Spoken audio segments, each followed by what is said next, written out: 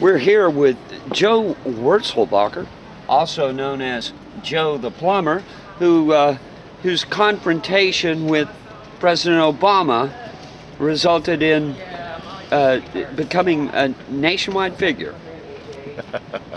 yes, yes. I uh, I asked a question, became famous, uh, which I absolutely find absurd because I was just doing my job as an American, and ultimately that's why we're here at CPAC. We're hopefully encouraging people to uh, question and at the same time convict as opposed to inspire.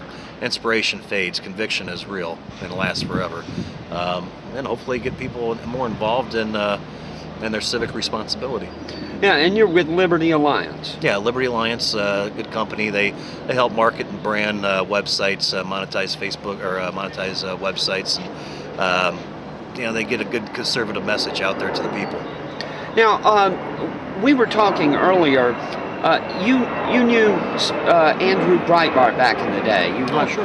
Yeah, and and what were you saying about you know what Andrew's legacy kind of meant to in terms of the uh, uh, you know the Tea Party movement and conservatism? Well, Andrew had a, a, a wide and long-term vision, and uh, you know he had strategy after strategy. Uh, he'd do one thing, and he knew the press or whoever would react a certain way, and he already had a plan backed up for that. Uh, you know, if Andrew was around still, I, I think we'd see a, a, big difference in what's going on in the political movement because he was the kind of guy that uh, could move those things and make things happen. He he he showed up and he he, he made himself felt, and uh, that was huge. You uh, you also uh, knew our friend uh, uh, Steve Bannon. Yes. Who is speaking at one o'clock today? the way that Bannon has been portrayed in the media.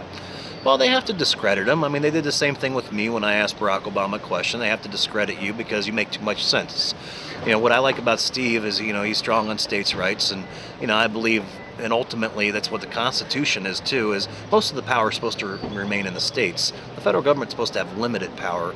And so I'm really hoping that Steve's able to, uh, with President Donald Trump, maybe give some of that power back to the states, uh, and I, I think this country would be better off for that. Thank you very much, Joe. You're very welcome.